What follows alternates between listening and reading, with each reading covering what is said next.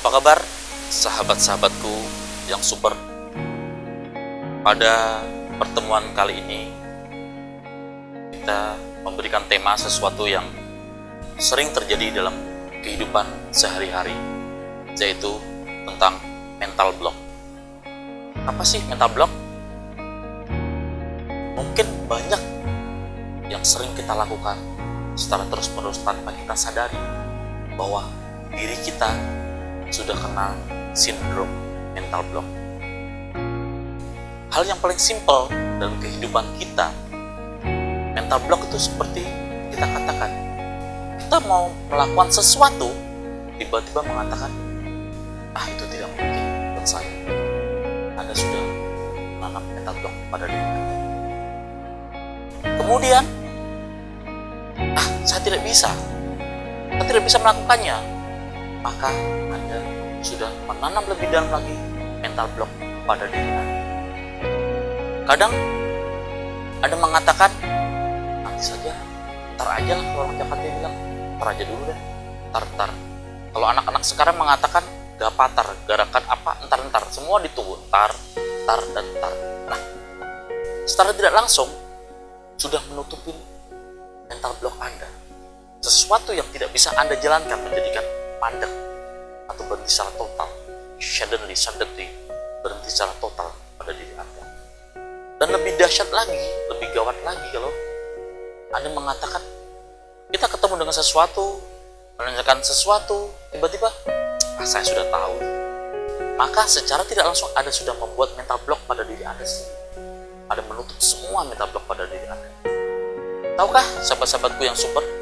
Semakin Anda mengatakan itu, maka semakin membenamkan diri pada diri Anda menjadi ketidakmampuan, ketidakberdayaan.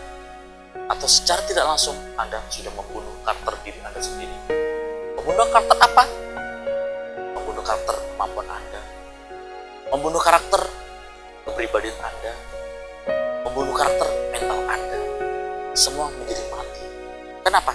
Di saat otak kita menerima sesuatu kemudian mengatakan saya tidak bisa, saya tidak mungkin.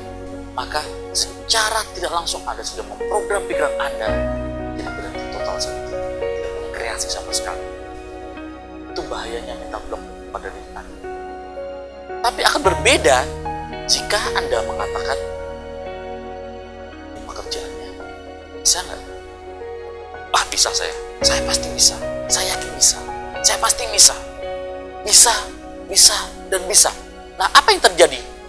Di saat Anda mengatakan diri Anda mengatakan bisa, bisa, dan bisa, maka otak Anda, pikiran Anda mencari solusi sesuatu yang terbaik buat Anda. Saya kasih example, satu contoh.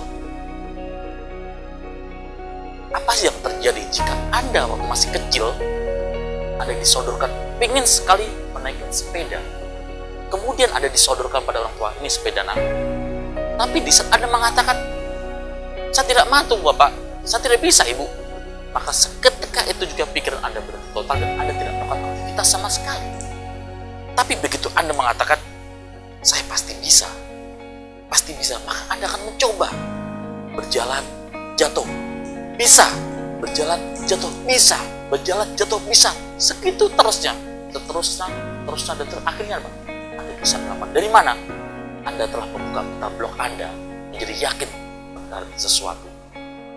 Tapi alangkah bahayanya jika Anda membuka karakter Anda mengatakan saya tidak bisa, saya tidak mampu, maka yakinlah Anda tidak bisa, tidak bisa membuat apa-apa. Tahukah sahabat-sahabatku yang super? Kenapa di waktu kita kecil kita belajar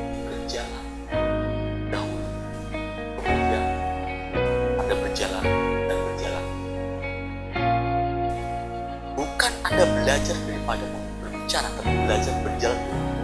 Nah di saat anda belajar berjalan inilah anda jatuh bangun anda jatuh bangun terus anda lakukan kenapa? Anda hanya bisa belajar terus belajar berjalan dan anda menghilangkan semua ketakutan itu. Makanya Anda menjadi bisa belajar berjalan